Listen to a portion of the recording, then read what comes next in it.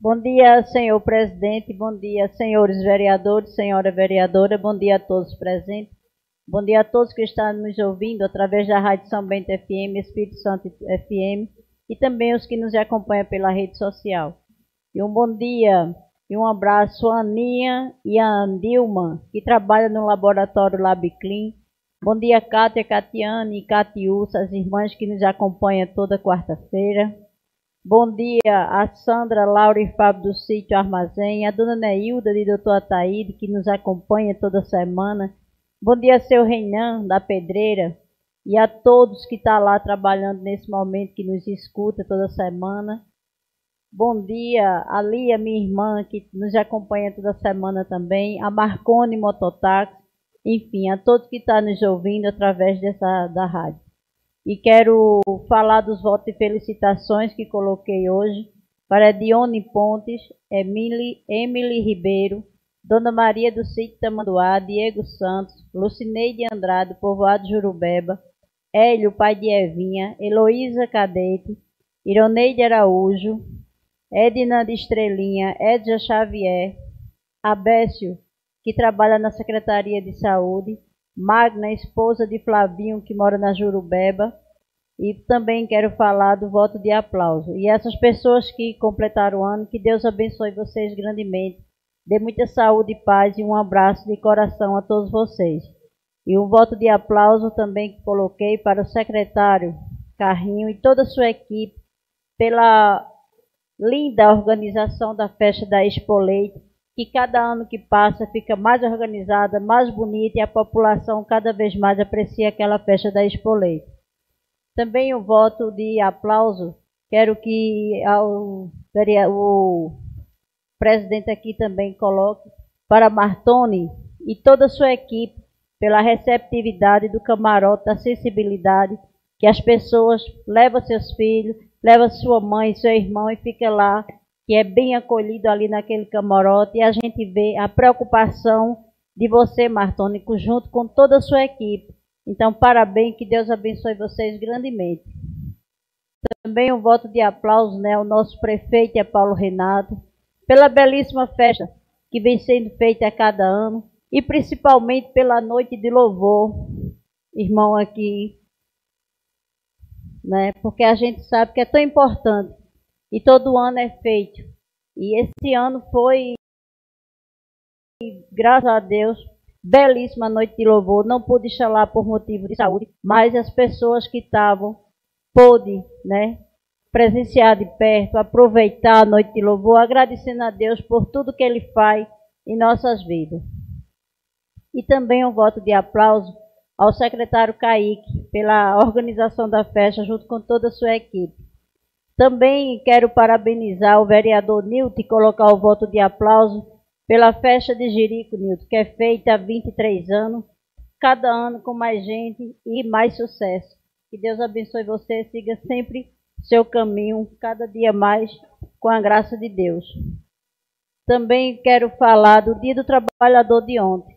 Um voto de aplauso a todos os trabalhadores, não só de São Bento, como de Pernambuco, e do Brasil, que são os guerreiros. Que Deus abençoe vocês, dê muita saúde e paz, muita sabedoria, muita prosperidade. Um abraço a todos. E quero falar também e agradecer ao prefeito Alexandre Batité, Paulo Renato, por todas as orações de terra que vem fazendo em nosso município. A gente sabe que a zona rural é muito extensa. Não chegou em todos ainda município, porque tem, tem lugar ainda que ainda falta ir, mas vai. Porque a gente sabe que é muita terra parada, né? O vereador Bruno sabe disso, que vem acompanhando também todos os dias. E a gente vê a necessidade do povo e a alegria do povo quando a gente chega lá com o pessoal nos recebe a, a satisfação que tem pelas suas arações de terra que vem sendo feitas. E vai continuar até terminar as arações de terra. Agradecer também ao tratorista preto e também quero falar para as pessoas ali do sítio Cantinho, o sítio que vai para Jurubeba, ali da Muzelinha, é, sítio Salgado ali, que já pedi a máquina, já falei com o secretário Carrinho, com o prefeito, e assim que der, a máquina já vai fazer aquela estrada novamente, porque a gente sabe que quando chove danifica as estradas. e tem lugar que realmente que está muito ruim. E foram também feitos ali o conserto daquele riacho ali do seu Olegário, e na hora que estava fazendo ali, colocando uma tralha ali, veio a chuva, e com certeza ali vai ter que ser feito de novo. Mas quero agradecer aos meninos que foram colocar o material, ao operador, e a gente tem que trabalhar assim, sempre fazendo o melhor para a população que tanto precisa e que nos procura todos os dias. E quero falar também da Compesa. A Compesa, infelizmente, vem sendo o maior problema de nossa cidade. Porque o bairro ali que eu moro mesmo, Jesus Menino de Praga, cinco meses que não chega água ali onde eu moro. Às vezes chega na parte baixa da rua, mas não sobe a água para lá para cima. E a gente vê não só lá, como também Rua Nova, é, Deus é Fiel, Balança, Santo Afonso, que é os bairros mais altos. É uma tristeza. E já foi reivindicado por todos nós vereadores. Esperamos que marquem essa audiência o mais rápido possível. Espero que o presidente da Câmara, Avanildo, entre em contato com o pessoal ali de Belo Jardim, porque já foi enviado por e-mail, já foi pessoas lá, já foi os vereadores lá, e até agora nada é feito. E não justifica nenhuma desculpa, porque agora não é encanação. Mas essa encanação sempre teve ruim, mas nunca ficou tanto tempo sem chegar água nas casas da gente aqui, da cidade aqui. É uma tristeza. Infelizmente, a gente vê que cada dia que passa a dificuldade aumenta, os pedidos, e infelizmente a gente não sabe nem a quem recorrer mais, porque a governadora sabe muito bem desse problema, a deputada Débora Almeida sabe também, deputado Diogo, e todos já procuraram e até agora nada. Infelizmente é uma situação que nos preocupa muito, porque a gente somos cobrados, cobramos e infelizmente a gente não vê resultado algum para que possa melhorar a situação do abastecimento de água em nossa cidade. É um dos problemas maiores que agrava a nossa população hoje. E quero falar também do IPTU. Ao ouvir a palavra do prefeito no dia do desfile, dia 30, e a gente pôde escutar e ver que a população, vereador Bruno, está sendo, está pagando, está procurando a prefeitura, botando seus IPTU em dia, porque está vendo o quanto está sendo feito de trabalho em nossa cidade. Isso é muito gratificante. É o reconhecimento das pessoas, é atenção. Então a gente sabe que, graças a Deus, estamos no caminho certo, porque o prefeito sempre procura fazer o melhor para todos São Bentense, que seja aqui na zona urbana, que seja na zona rural, mas ele se dedica, junto com Paulo Renato e toda a sua equipe, sempre procurando trabalhar cada dia mais. Se o dia não der, entra pela noite mas ele faz com amor e, e, dedicação e trabalho por todos aqueles que precisam. E a gente é muito bom a gente saber e ver o quanto você é querido, prefeito. Quem estava no desfile sabe o que viu e viu a satisfação da população querendo lhe abraçar, conversando com você.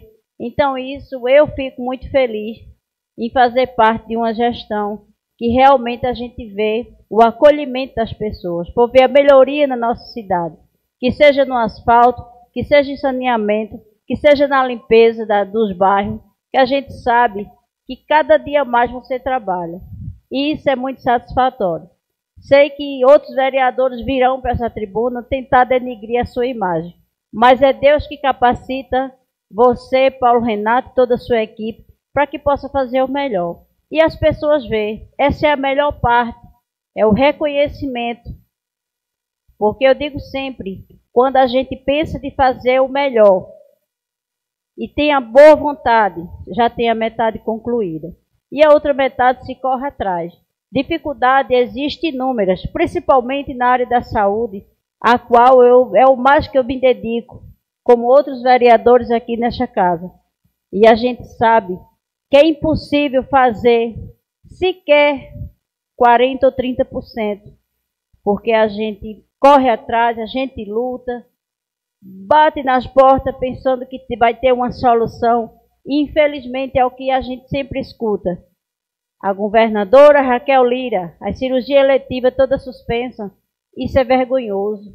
Isso é a maior tristeza que eu venho passando, assim como outros que lutam pela saúde vêm passando, por querer fazer, querer ajudar e não poder. Mas não desistimos, iremos à luta, porque temos que lutar cada dia mais para ajudar as pessoas que tanto precisam, que nos procuram. E quantas vezes a gente não podemos fazer, mas não podemos parar. Vamos à luta, nos unimos cada dia mais, principalmente na área da saúde, e sempre procurando fazer o melhor. Meu muito obrigado a todos, que Deus abençoe, um forte abraço.